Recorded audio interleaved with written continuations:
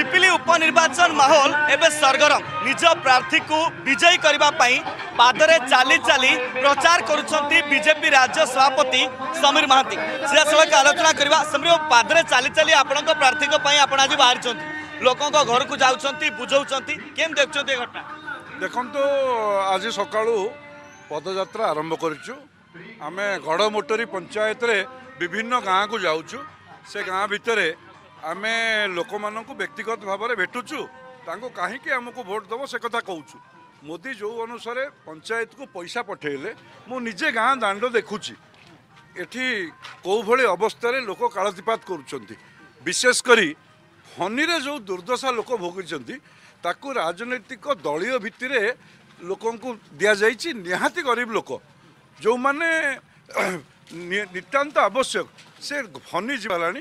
କିନ୍ତୁ ସେମାନେ ପଡ଼ିଛନ୍ତି ସେଇ ତାରପୋଲିନ ତଳେ। ଇଏ ଅତ୍ୟନ୍ତ ଦୁଃଖଦାୟକ ଘଟଣା। ତେଣୁ ସେ ଦୃଷ୍ଟିରୁ ଆପଣ ଦେଖୁଛନ୍ତି ଗାଁ ଦାଣ୍ଡର ଅବସ୍ଥା କ'ଣ? ମୋଦି ପଇସା ପଠାଇଲେ ପଞ୍ଚାୟତକୁ ପନ୍ଦରରୁ କୋଡ଼ିଏ ପାଞ୍ଚ ବର୍ଷ ଭିତରେ ପାଞ୍ଚ ବର୍ଷ ଭିତରେ ଦୁଇ କୋଟି ଟଙ୍କା ପଞ୍ଚାୟତକୁ ଆସିଲା। କିନ୍ତୁ ଡ୍ରେନ୍ ହେଲା ନାହିଁ। ପାଣି ଡିସ୍ପୋଜାଲ ହେଲା ନାହିଁ। ଏଠି ଲାଇଟ୍ ଲାଗିଲା ନାହିଁ।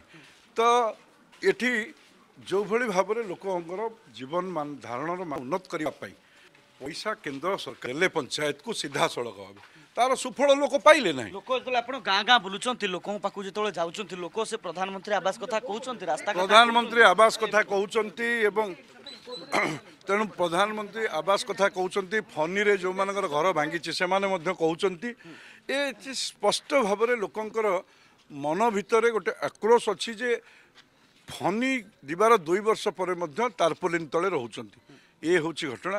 ଆଉ ଯେଉଁଠି ଲାଇଟ୍ ଲାଗିବା କଥା ଯେଉଁଠି ଡ୍ରେନ୍ଟେ ହେବା କଥା ସେ କଥା ହେଇନାହିଁ। ଗାଁ ଦାଣ୍ଡରେ ପାଣି ଜମୁଛି ଲୋକ ମଧ୍ୟ ଦେଖାଉଛନ୍ତି। ପୁରା ୱାର୍ଡ ୱାଇଜ୍ ଛାତ୍ର ଯୁବ ମହିଳା ଷ୍ଟ୍ରାଟେଜି ସାଙ୍ଗକୁ ପଞ୍ଚାୟତରେ ଜଣେ ବିଧାୟକ ତିନି ଚାରି ପଞ୍ଚାୟତରେ ଗୋଟିଏ ଟିମ୍ ବନାହେଇଛି ଯୋଉଠି ସାଂସଦ ଜଗିଛନ୍ତି। ଏ ଷ୍ଟ୍ରାଟେଜିକୁ ଆପଣ କେମିତି କାଉଣ୍ଟର କରିବେ? ଦେଖନ୍ତୁ ଆମେ ଗଣତନ୍ତ୍ରରେ ଜନତା ହେଲେ ମାଲିକ। ଆମେ ଲୋକଙ୍କୁ ଆମେ ଲୋକଙ୍କୁ ସେ କଥାର ଅ, ବୁଝଉଛୁ ଲୋକଙ୍କୁ। ଆଉ ଲୋକ ତ ନିଷ୍ପତ୍ତି ଲୋକ ନେବେ।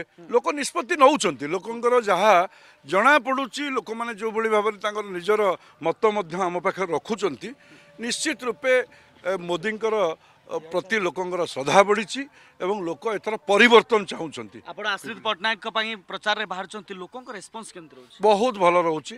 ଲୋକ ପରିବର୍ତ୍ତନ ମୁଖା ହେଇସାରିଲେଣି।